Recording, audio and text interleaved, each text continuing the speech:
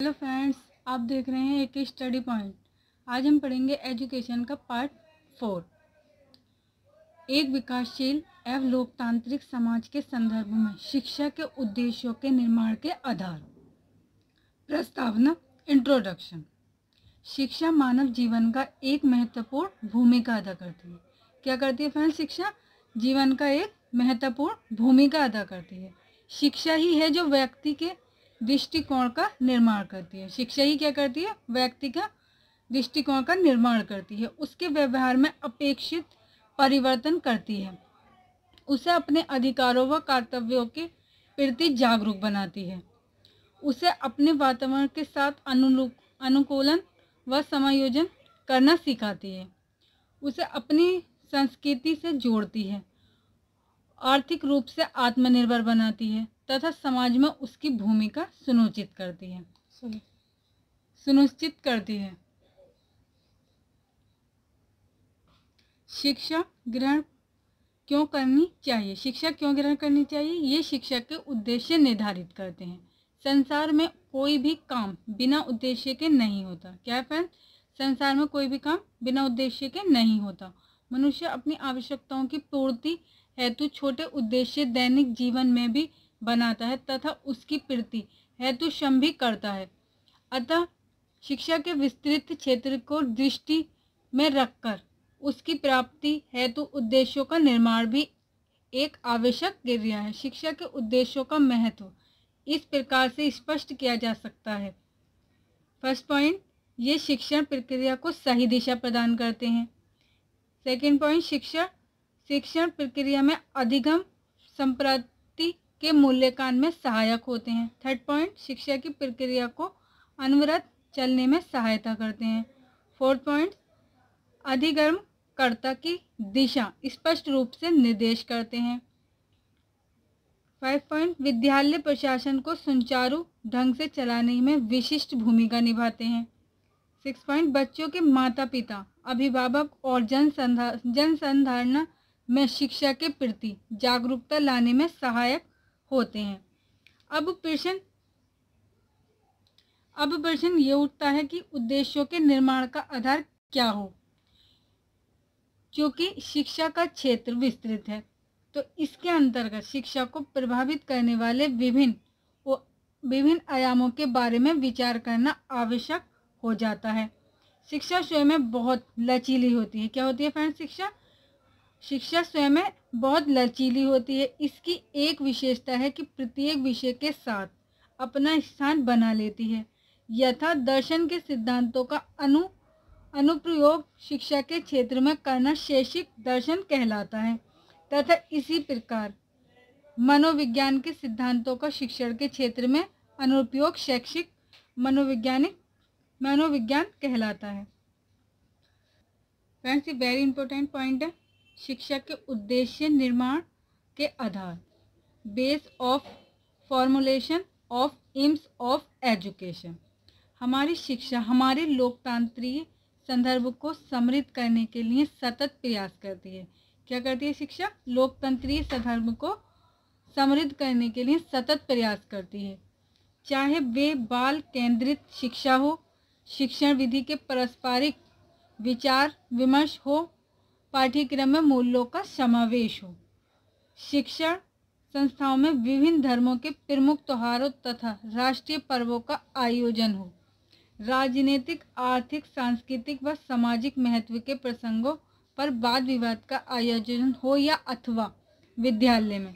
क्या किस तरीके से वो करती है? बाल केंद्रित शिक्षा हो या शिक्षा विधि के पारस्परिक या विचार विमर्श हो या शिक्षा संस्थाओं में विभिन्न धर्मों के प्रमुख त्योहारों या राष्ट्रीय पर्वों का आयोजन हो।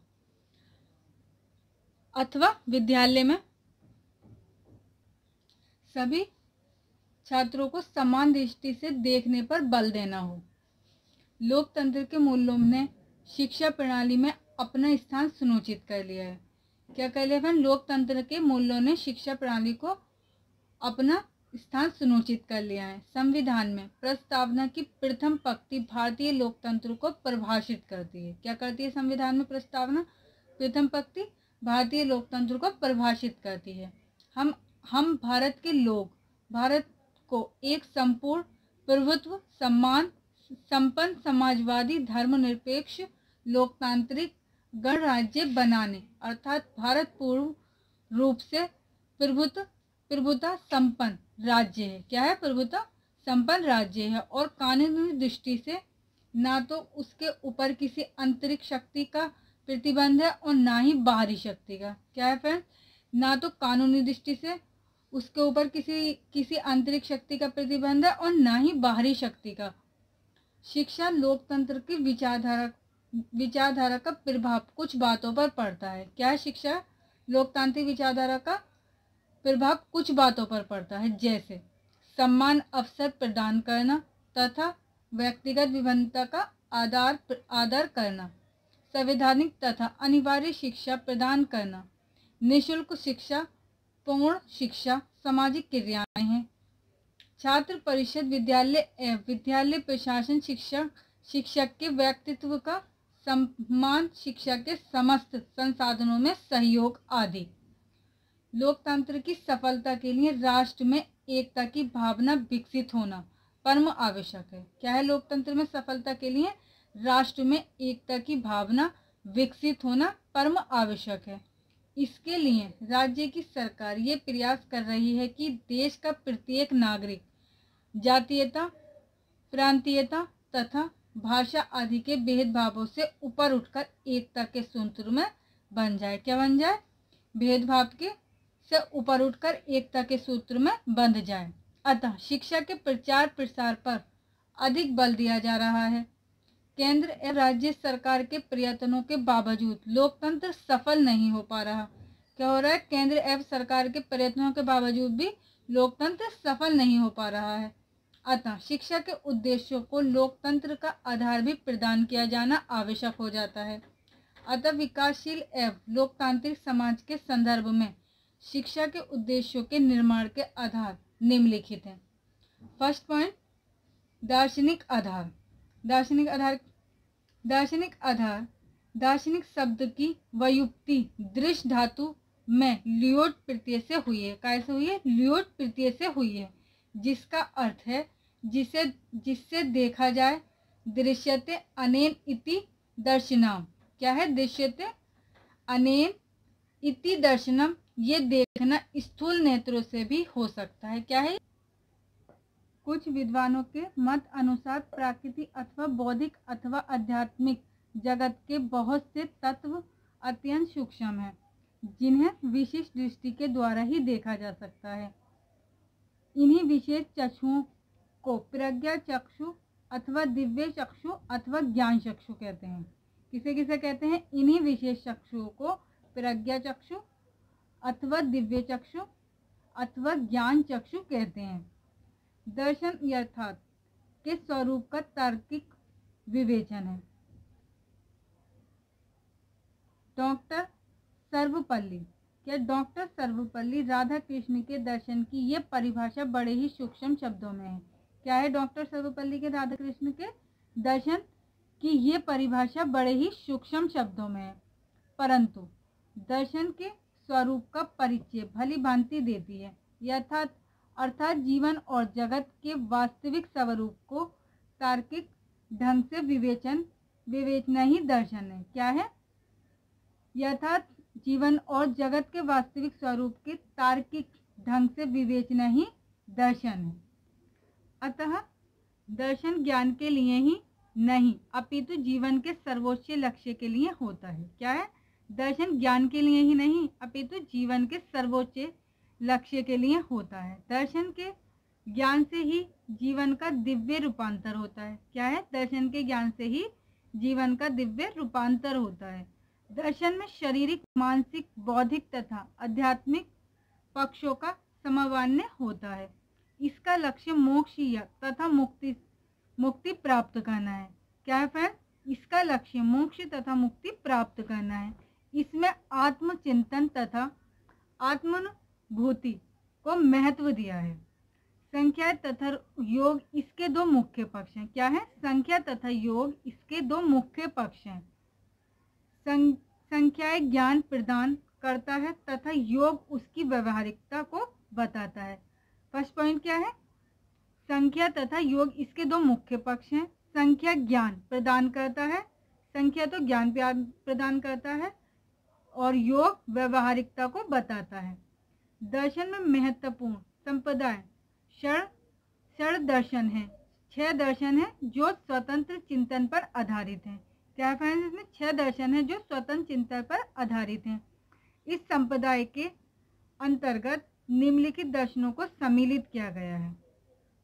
फ़र्स्ट क्या है? संख्या दर्शन, योग दर्शन, न्याय दर्शन और वैश्विक दर्शन। मीमांसा दर्शन अध्येत दर्शन और विशिष्ट अध्येत अध्येत दर्शन। फ़र्स्ट दर्शन है संख्या दर्शन। संख्या संख्या शब्द की उत्पत्ति। संख्या शब्द से हुई है। क्या है? संख्या शब्द की उत्पत्ति संख्या शब्द से हुई है। जिसका अर्थ है कि शुद्ध ज्ञान तथा संख्याओं का बोध। क्या है जिसका अर्थ? शुद्ध ज्ञान तथा संख्याओं का बोध। इसमें बौद्धिक एवं संधात्मिक ज्ञान के पक्ष को अधिक महत्व दिया गया क्या दिया गया इसमें? बौद्धिक एवं संधात्मिक ज्ञान के पक्ष को अधिक महत्व दिया गया है। योग संख्या का दूसरा पक्ष है। योग संख्या का क्या है दूसरा पक्ष है, जो कि व्यवहारिक है। ये दोनों एक दूसरे के पूरक हैं। इसके प्रवर्तक कपिल मुनि हैं मुनि हैं। सेकंड है योग दर्शन। योग का शाब्दिक अर्थ है जोड़। योग का शाब्दिक अर्थ क्या है? जोड़। यहाँ योग से तात्पर्य एक व्यक्ति के आध्यात्मिक पक्षों के जोड़ से होता है। क्या होता है ये? यहाँ यहाँ योग से तात्पर्य एक व्यक्ति के आध्यात्मिक पक्षों के जोड़ से होता है। योग दर्शन का संख्या संख्या दर्शन से निकट का संबंध है। जिस प्रकार दर्शन को शिक्षा का सिद्धांत कहा जाता है और शिक्षा उसका व्यवहारिक पक्ष होती है। क्या होती है? शिक्षा उसका व्यवहारिक पक्ष होती है। उसी प्रकार संख्या संघात्मिक पक्ष है तथा योग व्यवहारिक पक्ष है। इसके प्रवक्त महेश पतंजलि हैं। कौन है इसके प्रवक्ता? महेश पतंजलि हैं। थर्ड है न्याय दर्शन। न्याय दर्शन का अर्थ होता है विश्लेषण विश्लेषणात्मक चिंतन तथा ज्ञान मीमांसा तथा ज्ञान मीमांसा इसके अंतर्गत समीक्ष समीक्षात्मक अध्ययन को प्राथमिकता की दी जाती है। इसी कारण का विज्ञान तथा तर्क विज्ञान भी कहा जाता है। इसके प्रवक्ता गौतम मुनि है। इसके प्रवक्ता कौन है गौतम मुनि है। अतः इस दर्शन को गौतम का अक्ष पद भी कहते हैं। फोर्थ है, वैश्विक दर्शन। वैश्विक दर्शन का विकास। संख्या दर्शन के बाद हुआ है। क्या हुआ है? संख्या दर्शन के बाद हुआ है और उसके बाद न्याय दर्शन का विकास हुआ है। वैश्विक शब्द, विशेष शब्द से लिया गया है, जिसका अर्थ है जिसके विशिष्ट लक्षण तथा विशिष्ट अस्तित्व हो। इसमें वस्तु के सार को विशेष महत्व दिया जाता है कि उसके सार का विस्तार कितना है। इसके प्रवक्ता कर्णाद मुनि है। इसके प्रवक्ता कौन है? कर्णाद मुनि है। फाइव मीमांसा दर्शन। मीमांसा का शाब्दिक अर्थ है मूल चिंतन के विपरीत चिंतन, जिसकी व्याख्या मूल रूप से वेद के ऋचाओं में भी की गई है। मीमांसा वेद के पहले पक्ष में, पहले पक्ष से संबंधित है। उसे पूर्व मीमांसा अथवा कर्म कांड मीमांसा कहा जाता है। वेदांत जो कि वेद के बाद के पक्ष से संबंधित है, उसे उत्तर मीमांसा अथवा ज्ञान मीमांसा कहते हैं। वेदांत के पूर्व पक्ष को धर्म मीमांसा तथा उत्तर के पक्ष को संबंध ब्रह्म मीमांसा भी कहते हैं। सिक्स है अध्यक्ष दर्शन। अद्वैत दर्शन का मुख्य खंड अंतिम सत्य अथवा ब्रह से संबंधित है। काय से संबंधित है? अंतिम सत्य अथवा ब्रह से संबंधित है, क्योंकि विश्व और प्रकृति बदलते रहते हैं। क्या है पर विश्व और प्रकृति बदलते रहते हैं। ब्रह सत्य जग निमत्था जीवा ब्रहाव नाप्रह। अर्थात ब्राही सबसे श्रेष्ठ सत्य है। क्या है? ब्राही सबसे श्रेष्ठ सत्य है। आत्म और ब्रह एक ही है। क्या है? आत्म और ब्रह एक ही है, जो हमारे मानसिक ज्ञान ज्ञान केंद्रियों ज्ञान इंद्रियों तथा विद्या या विवेक से परे हैं। ब्रह के संबंध में तीन प्रमाण हैं। फ़र्स्ट है, प्रत्यक्ष अनुभूति। सेकंड है, तर्क। चिंतन तथा थर्ड है शून्य की व्याख्या। विशिष्ट विशिष्ट अद्वैत दर्शन, विशिष्ट अद्वैत दर्शनवादी जीवन जीव, जीवात्मा को ही सत्य मानते हैं। क्या मानते हैं? जीवात्मा को ही सत्य मानते हैं। विशिष्ट अद्वैतवादी ब्रह और जीव में कोई भेद नहीं करते। क्या करते हैं? ब्रह और जीव में कोई भेद नहीं करते, क्योंकि जीव ब्रह का ही रूप है। ज्ञान की यथार्थ के लिए तीन प्रमाण माने गए हैं। फ़र्स्ट है प्रत्यक्ष सेकेंड है अनुमान थर्ड है शब्द। इस दर्शन में रमान, रामानुचार्य का विशेष योगदान है। दर्शन और फिलॉसफी पर्यायवाची शब्द प्रतीत होते हैं। परंतु वस्तु इसमें, इनमें भी अंतर है। दर्शन शब्द में मानसिक प्रक्रिया के तीनों पक्ष ज्ञान कर्म और भाव निहित हैं। सत्य का सत्ताक्ष दर्शन करना ही दर्शन है। जब प्रत्यन पूर्व सत्य का साक्षात दर्शन होता है तो सत्य और ज्ञान में ज्ञान से प्रेम स्वतः ही होता है। पश्चिम का फिलोसोफर बिना किसी लक्ष्य को निश्चित किए हुए विचार करना प्रारंभ कर देता है। किंतु भारतीय दार्शनिक जब चिंतन करता है तो उसका लक्ष्य स्पष्ट होता है।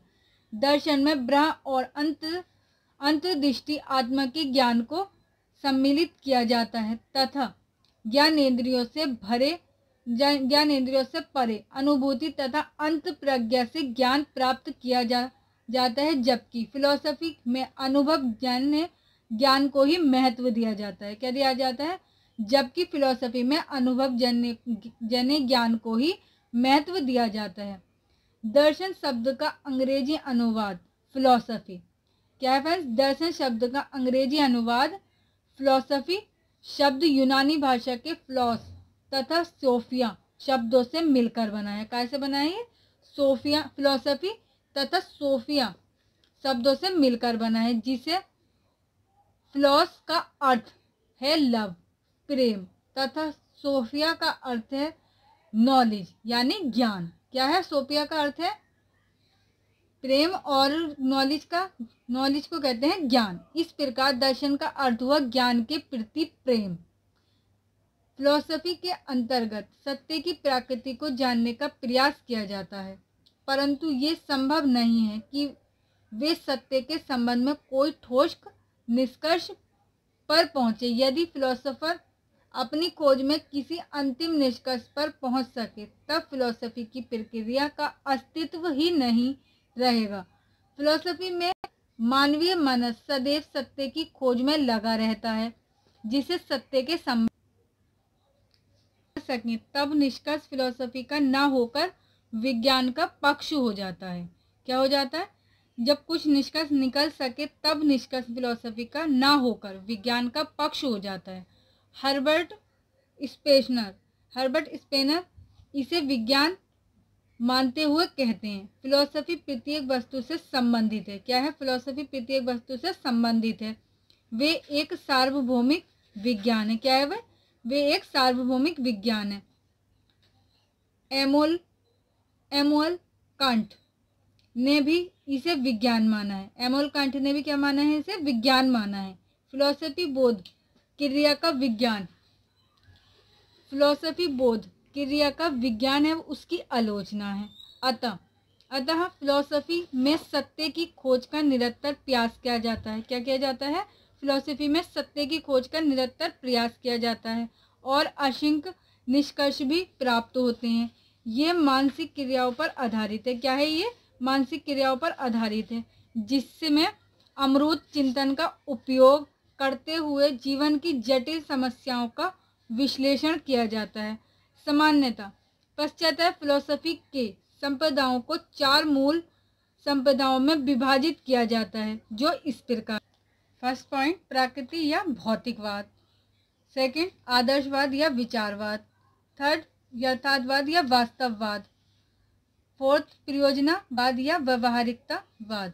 विभिन्न संपदाओं ने फिलोसफी को अलग अलग ढंग से परिभाषित किया है। क्या क्या है फ्रेंड सभी संपदाओं ने फिलोसफी को अलग अलग ढंग से परिभाषित करते हुए व्याख्यित किया है। जीवन के उद्देश्य समाज और व्यक्ति के दर्शन पर आधारित होते हैं। क्या होते हैं? जीवन के उद्देश्य समाज और व्यक्ति के दर्शन पर आधारित होते हैं। शिक्षा के उद्देश्यों को भी जीवन के उद्देश्य ही आधार प्रदान करते हैं। भारतीय दर्शन अंतिम सत्य की खोज पर बल देता है। क्या है? भारतीय दर्शन अंतिम सत्य की खोज पर बल देता है। साथ ही साथ, दार्शनिक को अपने ढंग से तार्किक विविध को अपनाते हुए नवीन सत्य के उपास, उपासना की स्वतंत्रता भी देता है। दर्शन की इसी उदारता को कारण यहाँ अनेक विचारधाराओं अथवा वादों की संकल्पना देखने को मिलती है। आदर्शवाद मन की प्रकृति को वास्तविक मानता है। उनका मानना है कि जो बात वास्तविक या सत्य है, वे अवश्य ही आध्यात्मिक या मानसिक है। इस बात पर भी बल देता है कि वास्तविकता, भौतिक वस्तुओं और शक्तियों के दर्शन पर विचारों, भावों, आदर्शों, मूल्यों से बनी है। ये व्यक्ति के मन में ही, मन में ही है आदर्शवाद क्योंकि ईश्वर की सत्ता को स्वीकार करते हुए मन को वास्तविकता, वास्तविक मानता है। अतः उद्देश्य, अतः शिक्षा के उद्देश्यों में आत्मानुभूति का अधिक महत्व होता है। यानी सेल्फ रियलाइजेशन का अधिक महत्व होता है।